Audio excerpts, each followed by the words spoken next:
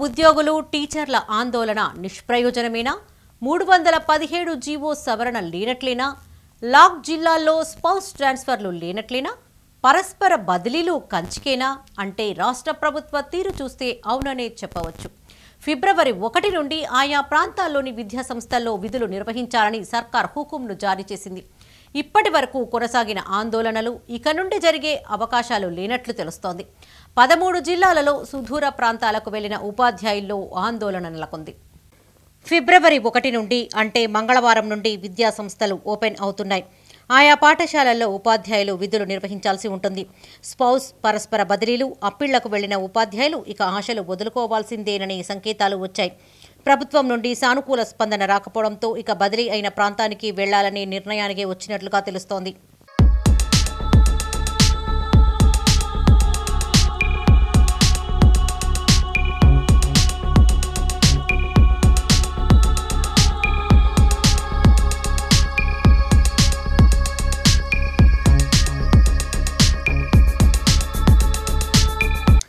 రాష్ట్ర ప్రభుత్వం ఉద్యోగ ఉపాధ్యాయ బదిలీలకు సంబంధించి మూడు వందల పదిహేడు జీవో తీసుకువచ్చిన విషయం తెలిసిందే.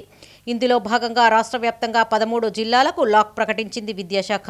రంగారెడ్డి మేడ్చల్ ఆదిలాబాద్ నిజామాబాద్ వరంగల్ హన్మకొండ కరీంనగర్ ఖమ్మం సంగారెడ్డి సిద్దిపేట మహబూబ్ నగర్ మంచిర్యాల సూర్యాపేట జిల్లాలను లాక్ చేసింది. ఈ జిల్లాలకు స్పౌస్ పరస్పర బదిలీలను నిలిపివేసింది ప్రభుత్వం.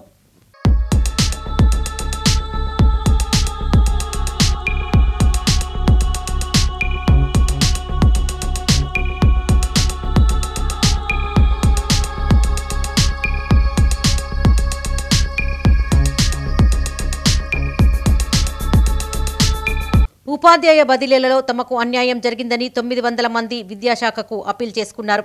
ఇందులో జూనియర్ సీనియర్ మెడికల్కు సంబంధించిన వినతులున్నాయి. రెండు వేల ఐదు వందల అరవై ఆరు స్పౌస్ బదిలీల సమస్యలు నెలకొన్నాయి. వీటితో పాటు పరస్పర బదిలీలు రివర్స్ స్పౌస్ బదిలీలపై ప్రభుత్వం నుండి సానుకూల స్పందన వస్తోందని ఇప్పటి వరకు వేచి చూశారు ఉపాధ్యాయులు. జగిత్యాల సిరిసిల్ల పెద్దపల్లి జిల్లాలకు తొమ్మిది మంది బదిలీలకు సంబంధించిన ప్రతిపాదనలు కరీంనగర్ నుండి వెళ్ళాయి. వీటిపైన సర్కారు ఇప్పటి వరకు ఏమీ తేల్చలేదు.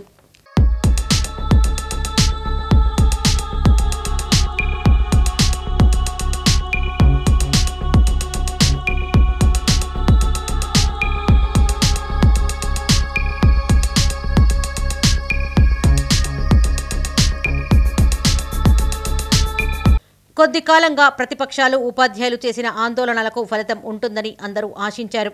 కానీ ప్రభుత్వం నుండి ఎలాంటి సంకేతాలు రాకపోవడం పైగా విద్యా సంస్థలు ప్రారంభం అవుతున్న వేళ విధుల్లో చేరాలనే హుకుం జారీ చేయడం వల్ల ఆశలు ఆవిరైనట్లేనని విశ్లేషకులు భావిస్తున్నారు.